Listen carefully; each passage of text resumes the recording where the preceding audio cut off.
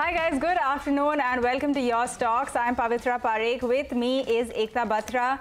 There's just no respite for the market, right? It is a through and through down day that we are seeing. In fact, we're at the low point of the day right now, around 270 points gone on the Nifty, so 1.5% lower over there. The selling pressure has just intensified in the past, uh, you know, few minutes as well. So we're now at 15,556 on the Nifty. The pressure is worst in the banking space, right? So take a look at the Nifty Bank. That's down almost 690 points right now. Uh, so that one clearly looking the weakest. Even if you look at the mid-cap index, that is also seeing sharp cuts right now, 1.2% lower there. But Ekta, across the board, selling pressure seen all sectoral indices in the red as well. Hi, uh, Pavitra. Yes, absolutely. You know, the India VIX has spiked up around 11 odd percent at this point in time, at 11 and a half odd percent to be uh, precise. So that's the volatility index. And uh, from noon till now, there's been a worsening which has taken place in the advanced yeah. decline ratio, which completely ties in with the fact that this is broad-based weakness that we're seeing. To put that into context, we have 481 stocks which are advancing on the National Stock Exchange and over 2,300 300 stocks which are declining at this point in time. Also, to illustrate this better, within the Nifty, we have only two stocks which are in the green at this point. ITC from the FMCG space, which has any which way been an outperformer, and Divi's Lab from the pharmaceutical space, which is up just about marginally. So there is broad-based weakness. There is no sector which is left out in terms of losses. But joining us this afternoon, we have Sharad Avasthi, who is the head of PCG Research and SMIFS, and Kush Bohra, who is the founder at kushbohra.com. Uh, welcome to the show. Kush, you know, before we start taking a lot of the queries, wanted your thoughts in terms of the technicals of the market, because now we're testing 17,500 on the Nifty. We've broken that 20-day moving average. Uh, what is your sense in terms of where we would go from now, especially in conjunction with the financials? Um, sure. First up, thank you for having me on the show. And you know, we're starting the uh, show on the right foot, I assume, because uh, you know this was uh, fairly evident uh, in the morning. You know, we uh, we uh, opened below 17,800, which was a very strong support zone. The index had been trying to hold on to that for a very long time, and we never saw any kind of respite after that. So my worry is that you know if the 17,500 mark, where we have the second highest put base, psychologically plus technically, it's a very strong support zone. If we don't hold on to this one, then I'm afraid the next level that we're looking at is 17 uh, no 317 350 where the 200 dma lies and also we've bounced back a couple of times from there. Financials uh, you know could actually uh, lead the you know the markets on the downside because the the uh, there's no respite you know. If you see the pcr for bank nifty for this expiry is already close to 0.5 and you know anywhere from 0.7 we see markets bounce back. We've not seen that so we could perhaps see a meaningful, uh, you know, short covering rally. But I would also use this opportunity to, you know, sell into both the indices for now. All right. Uh, in fact, the Nifty Bank has breached the 40,000 mark as well, uh, with us losing nearly 670 points. So that is something that we're watching very closely. We'll talk more about the markets, but let's also kickstart the show now by bringing you all of our queries because we have lots of them to get through. Narayan writes to us from Mumbai. He says he has nine shares of Nestle India at 15,950. He's been holding since 2020. He says he's a long-term investor. He's already held for, you know, a significant period of time, but he wants to know what he should do with these investments uh, with the Nestle stock now? Should he hold or should he sell? Um, let me come to you first on this, Kush. Currently, it's at 18,770. He's made good money on this. But the question is, do you see um, scope for a lot more to, you know, for a lot more in terms of returns on Nestle? He is willing to hold for a long period as well.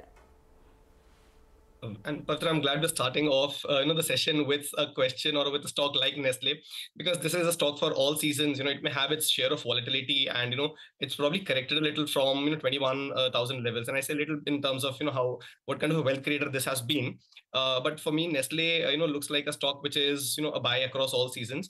Now, if and plus, given that you know his view is long term, these kind of dips should actually be used to buy into you know such stocks uh, it's broken down below its uh, you know 200 day moving average which is close to 18900 so there could be persistent weakness but as i said you know this is a time to you know add and accumulate these stocks gradually. So uh, you know look at buying this stock even at you know, even if it falls to uh, 18500 400 zones which is a very strong support zone for this stock. Uh, for a view of about you know next 2 to 3 years i wouldn't be surprised if the stock zooms uh, you know again to 20000 and 21000 levels which it has very recently you know touched Okay, Sharad, would you be of that opinion as well in the next two to three years, based on the fundamentals, it could reach levels of around 20 to 21,000 for Nestle?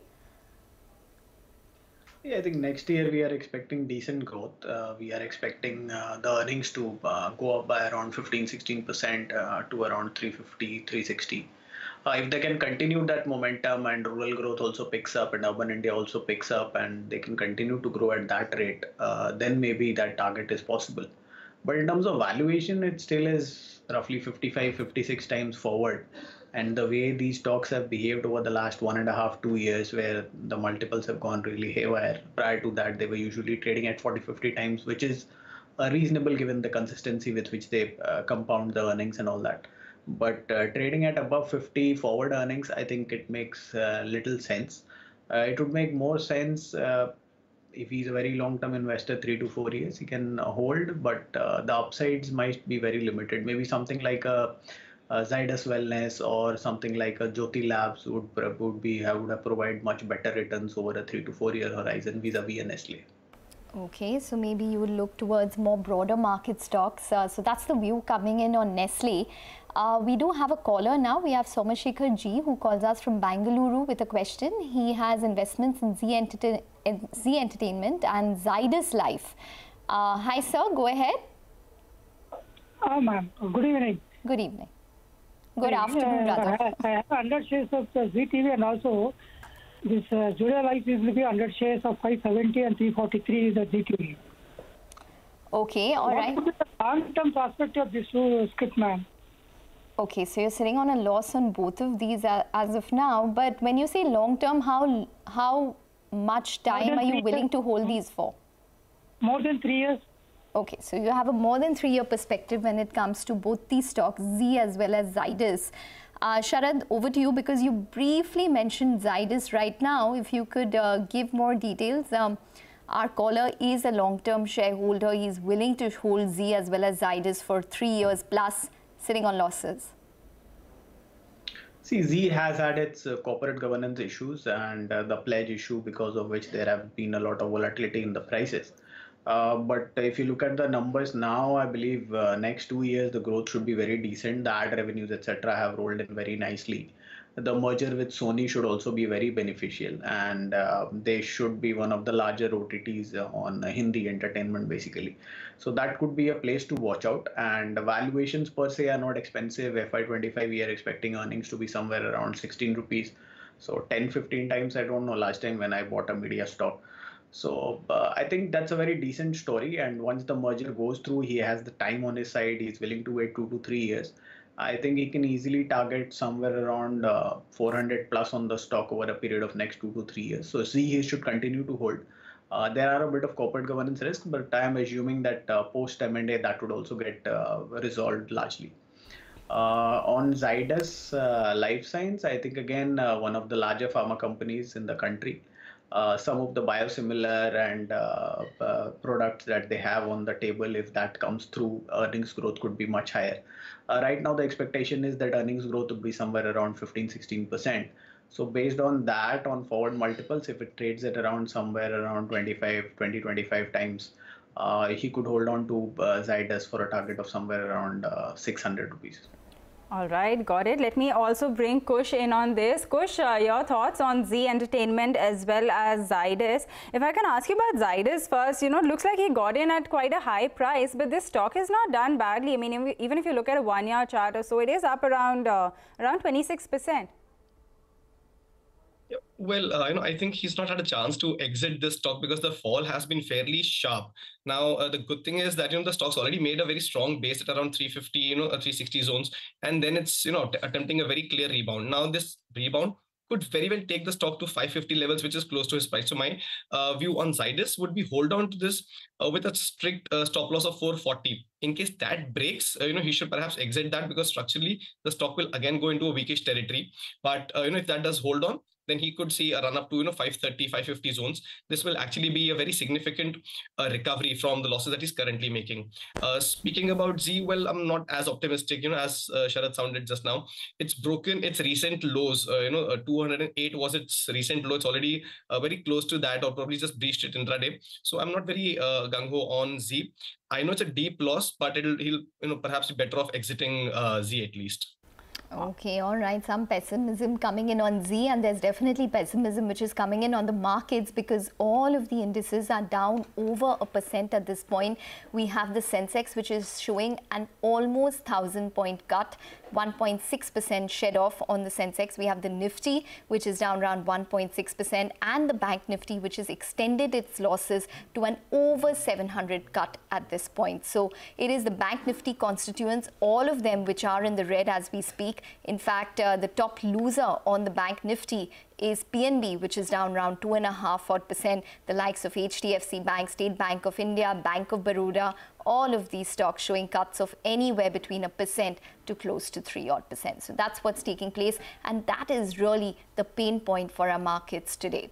Ashwin, uh, that's another query that we have, and um, coincidentally, it is within the banking space. Ashwin Sridhar writes to us from Chennai. He holds 6,674 shares of PNB or Punjab National Bank, which he's bought at 44.95 rupees. He wants to know whether to hold or sell at current levels. So he's currently in the money. Uh, it would be interesting to get your perspective on a technical as well as fundamental basis. Uh, Sharad, let's come to you on the fundamentals. Uh, do you think that he should probably sell out because last year was great for PSU banks, but now there is a, you know, uh, there's a possibility that uh, banks could underperform on worries of what could happen to their asset quality this year. So what is your thought on PNB? Do you think it's a good time to probably just take the profits and leave? Uh, no, I think after this uh, decent correction across the banking spectrum, uh, banks where uh, uh, there is not much risk of uh, GNP additions because advances growth have not picked up over the last two, two and a half years. So generally the GNPA cycle should follow a robust advanced growth cycle. So unless and until there is a very strong advanced growth cycle, we do not expect any kind of major GNP additions to any of the banks. Uh, post merger this has become the largest bank third largest bank in the country most probably. So uh, they would be in a sweet spot. And i think with the advances growth coming in uh, q4 numbers were q3 numbers were a bit of a disappointment. But uh, forward numbers should continue to maintain. So even if it trades at somewhere around 0.8 0.9 forward book value of uh, 85 90 rupees i think he should continue to hold for a target of around uh, 70 75 on the stock Okay, continue to hold PNB. Kush, what do you think? Uh, do you also agree that this is perhaps a good stock to keep holding? I mean, this month, of course, has been pretty bad for uh, PNB, but pretty much for the entire banking space, right? Um, well, and you know, as I said, the uh, banking stocks or the finance stocks in general have been the ones leading the uh, you know uh, index and Nifty also down, the markets also down. So there could be some uh, pressure, uh, you know, in the days to come as well. Uh, speaking specifically about PNB, well, the stock has not seen any kind of meaningful recovery uh, since it started, you know, falling from 60 levels mid-Jan. Now, my concern is that, you know, this could perhaps accelerate. 48 was a very strong support zone, which it, it has breached and it's trading below that today. Uh, the best thing is from a strategy perspective that the gentleman is still in a profit. His buying price was 45 rupees. So uh, the best uh, way to play this out would be to you know keep a trailing stop loss of 45 or a little above 45.5 and hold on. If that level is taken out, then there's a chance that you know uh, the stocks could go further down uh, right up till you know 40 levels. So my suggestion would be you know hold on to this from you know a strategy perspective as you know with the stop loss of 45 or 45.5 if this does turn around, then I wouldn't be surprised to see a level of uh, 51 and the second level of 54, uh, you know, on this stock. But okay. uh, you know, uh, Kush, hold with just a, Kush, just a quick uh, word on the Nifty Bank, which in fact has slipped below 40,000 on an intraday basis currently. Uh, how would you approach it? Well, you know, this is a very tricky situation for two reasons. I mean, you can't go short at you know this current level because the nearest, uh, the the most immediate support is at 39,800. Now, psychologically, this looks very uh, bleak that you know we've broken uh, 40,000, but uh, you know you can't go short right now. So my suggestion would be just hold on to uh, you know any existing short positions that you may have from you know with the trailing stop loss of 4020 levels, uh, 40,200 levels rather. But otherwise, just hold on for a couple of days. Don't take any fresh positions. The the index itself is entering you know oversold oversold territories. So we might see a bit of a rebound. And as I said, even the PCR is indicating a bit of a oversold territory. So we might see a rebound. But that rebound will perhaps be an opportunity to make fresh shorts. All right, that is the call on the Nifty Bank. All of the constituents of that index in the red right now. The you know overall index is down 1.9 percent, so the loss is only intensifying right now. It's been uh, you know a 750 point fall that we've seen on the Nifty Bank. We will get into a short break on the show now, but there's lots more market action that we are tracking on the other side.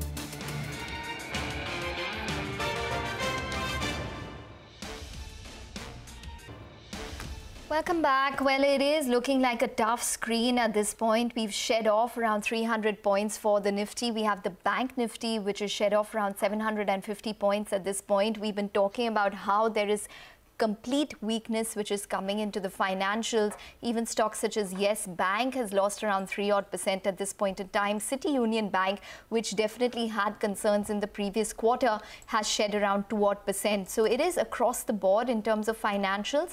And the other section of stocks which continue to deplete in terms of market capitalization is Adani Power and the Adani stock. So Adani Power, case in point, is down around 5 odd percent. It's down 45 percent on a year to date basis Within the Nifty stocks, we have Adani Enterprises, Adani Ports, which have lost 6% and 10% respectively. So the Adani stocks should come up for you. And just to put um, more emphasis in terms of the financials, we have HDFC Bank, which has lost around 2 percent, State Bank of India, which is at the low point of the day, and other heavyweights such as Reliance, L&T, which are not really managing to support the index as well. So both these heavyweights are also down around 2 percent. The advanced decline ratio has now worsened to around 1 is to over 5 stocks declining on the National Stock Exchange and stands at around 1 is to 3 on the Bombay Stock Exchange. That gives you a picture in terms of the kind of weakness we have in our markets. Let's see what the FIIs do because yesterday they were buyers in the cash market. Let's see whether or not that would sustain or not in today's trade. But we still have with us Sharad Avasthi who's joining in on the fundamentals, Kush Bohra who's talking to us about the technicals. Uh, Kush, just quickly coming to you. Uh, how would you approach a couple of the stocks within the FMCG and uh, maybe in the pharmaceutical space, which are managing to be resilient at this point? Case in point would be an ITC. Well, look, not everything will look bleak. You know, there will be pockets. My only concern is that you know those pockets will uh, you know keep shrinking. You know, there'll be uh, you know very few and far in between.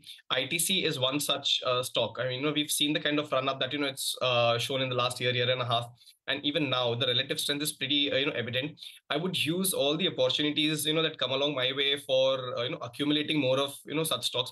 You know beat itc with the one other name that i like is britannia. I know the stock is perhaps uh, you know not as you know in the same league as you know itc at the moment but even britannia shown quite a bit of strength. So these are a couple of names pharma the pockets get even smaller because you know given the diversity of the entire space uh, we'll need to be very selective. So, you know, maybe a couple of hospital counters or maybe something like a Cipla and Sun Pharma is something that, you know, I would keep on my radar just to accumulate at lower levels. So purely defensive play.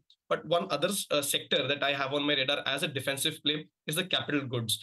Uh, you know, you take a case in point, which is, you know, L&T, Siemens, Cummins. Today, they might be looking, uh, you know, bleak, you know, given the market scenario but this is one sector that I will have my uh, you know eyes on even as a defensive bet. You know uh, when the markets fall, these are the stocks that I would look to accumulate. Okay, got that. Um, you know, one other very small pocket of green in this market is perhaps some of the air conditioner, air cooler makers today, right? On uh, news that the heat wave is advancing uh, faster than expected. Sharad, coming to you on this, how would you look at some of these, say a Blue Star, Symphony? Do you think any of these are worth uh, looking at right now? Uh, Blue Star might have run up a bit too much, but the other three, four stocks, Symphony is still not very expensive in terms of valuation uh, Voltas uh, has been a top pick of mine, and uh, Whirlpool also at these valuations is a very decent bet in the long term. And the fastest growth we expect over the next 10, 12 year horizon is to be in the air conditioning space only. So uh, Voltas, Whirlpool, Symphony, all of them should work very well. Uh, we are more bullish on the prospects of uh, Voltas or a Whirlpool, which we hold in our PMS as well. Uh, but even Symphony should be a very decent bet from here on. Okay, well, it is getting hotter and it's getting redder for the markets. But uh, with that, it's a wrap on the show. Sharad as well as Kush, thank you very much for joining in and taking us through all of the queries. Uh, but do remember, uh, viewers, that you can email us your queries and we will address them with our experts. Stay tuned. Closing bell will take you through the last hour of trade.